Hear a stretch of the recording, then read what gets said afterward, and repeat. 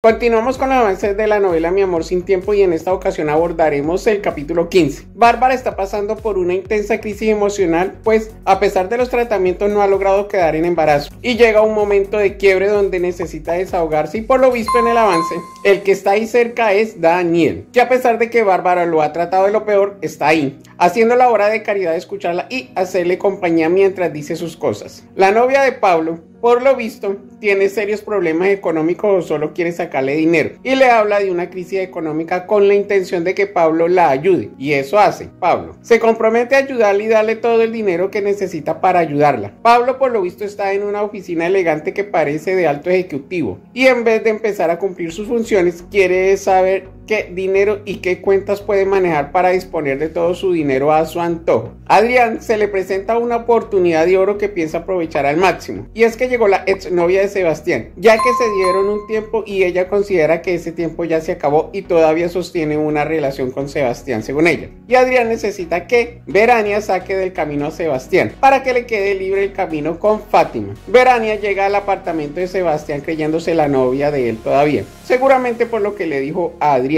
y lo va besando y todo. Sebastián queda altamente sorprendido. ¿Qué hace esta mujer acá?